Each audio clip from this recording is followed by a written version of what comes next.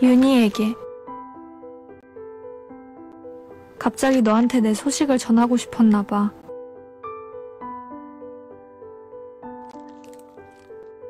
엄마, 우리 해외여행 갈까?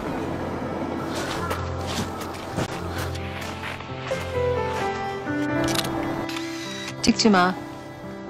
이쁘다. 좀 알아봤어? 그냥 가정집이야. 근데 이젠 뭐야? 여기 사는 분들은 누구고? 엄마 어디야? 여기 엄마 옛 친구가 살아. 그래, 나 몰랐는데?